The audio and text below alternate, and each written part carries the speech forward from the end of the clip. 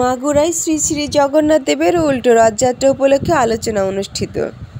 মাগুরায় আন্তর্জাতিক কৃষ্ণ ভাবামৃত সংঘ ইস্কন এর আয়োজনে মঙ্গলবার বিকাল পাঁচটায় শ্রী শ্রী জগন্নাথ মন্দিরে শ্রী শ্রী জগন্নাথ দেবের উল্টো রথযাত্রা দুই হাজার তেইশ উপলক্ষে আলোচনা সভা অনুষ্ঠিত।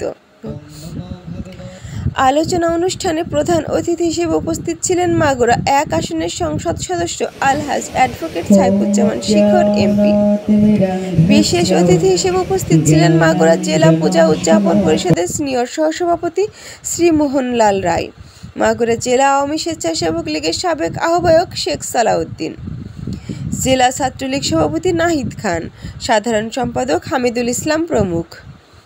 অনুষ্ঠানে সভাপতিত্ব করেন নতুন বাজার সাহাপাড়া শ্রী শ্রী জগন্নাথ মন্দিরের অধ্যক্ষ অচৈত্য অদ্বৈত দাস ব্রহ্মচারী। আলোচনা সভা শেষে জগন্নাথ দেবের বর্ণাঢ্য উল্টো রথযাত্রাটি পুরো শহর প্রদক্ষিণ করে।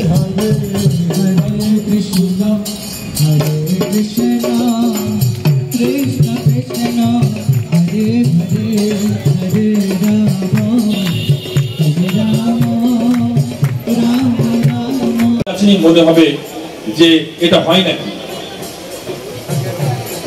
কিন্তু বেসিক্যালি যেটা বলেন, যে রবীন্দ্রনাথ যেটা বলেছেন, যে অন্তর্জামী সব।